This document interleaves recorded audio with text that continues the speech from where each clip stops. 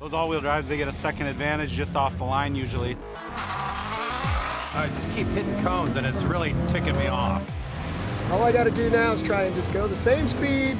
Don't hit the stupid orange things. If I clean it up, you're in trouble. It's one hour for somebody to beat me. It's getting nerve-wracking at this point.